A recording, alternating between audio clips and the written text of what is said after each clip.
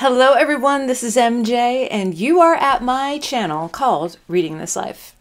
My channel is where we talk fiction, friends, and fun. Today, let's talk about what I have on tap for November since October was awful. All right, I am so glad to be in a new month. I'm so glad that it is November 1st.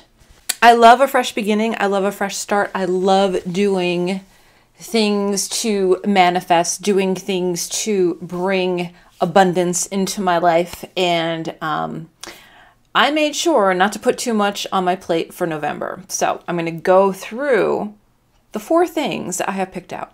Okay. Let me get me scribe out. Let me scribe.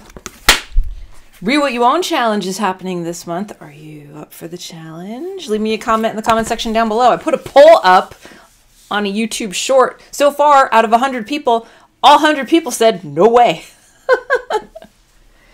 all right.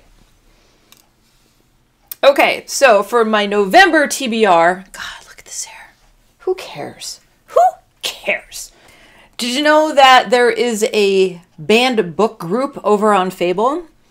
Um, I created it. I've got Greg at Another Bibliophile Reads as a moderator, as well as Book Chat with Pat. She's helping out as well. Um, and this month we have voted and picked The Absolute True Diary of a Part Time Indian by Sherman Alexie. Um, shorter side book, National Book Award winner, and that sucker's banned in a lot of places. Why not read it? I'm about four chapters in.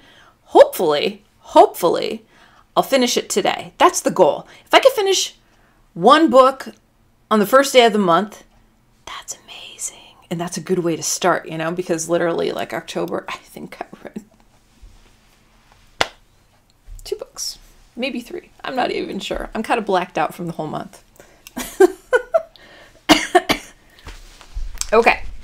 Okay, then over on my Patreon, yeah, we have a book group over there. We took October off, thank God. Okay, so like for real, it's November 1st. I have the windows open because it's like 75 degrees outside and a motorcycle just went by. There's no global warming. Okay. Um the book that we all agreed to read is A Monster She Wrote by Lisa Kroger and Melanie R. Anderson. All of these books are basically ebooks, so I will put pictures here wherever they fit. Um, this is nonfiction and it talks about the authors of the monsters that we love. So we're going to be talking about Mary Shelley. We're going to be talking about women authors, um, you know, that brought forth just some amazing creatures. I'm looking forward to it. It sounds really interesting. All right, then I'm doing a buddy read with Michael Romeo Talks Books. Do you know he's coming back? Yeah, Michael Romeo Talks Books has a fantastic channel. He's going to ramp it up and bring some new content, so make sure that you're subscribed. Um, we are reading together. He asked me, and of course I said yes.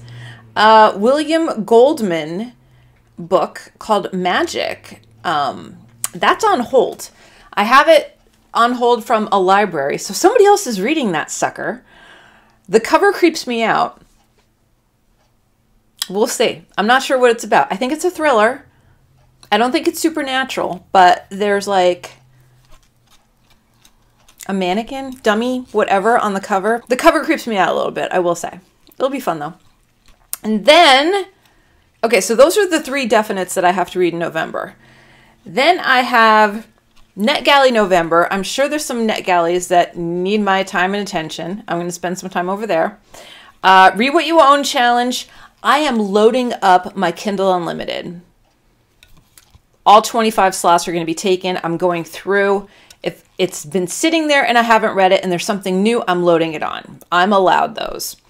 And then the last thing is whatever I fancy. So if I feel like reading, do you know, uh, v Castro book. I'm going to pull a V Castro book. Also, oh, I have to do that. All right, let's do that while I'm here.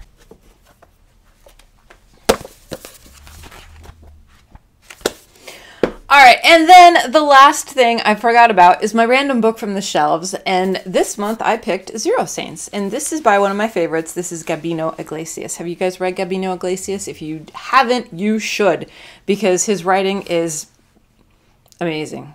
It's truly amazing. Um, he has a new release out that I haven't gotten yet. I'm kind of waiting. I don't know if I should get it before the challenge, if I should wait. I think I want to go and read his backlog a little more. I don't know. Did you ever get like that? Or it's like you don't want to read the hottest thing, you want to like go back in time. That's how I am with this. Um, and this was kindly sent to me by Angela. So Angela, I'm finally getting around to it.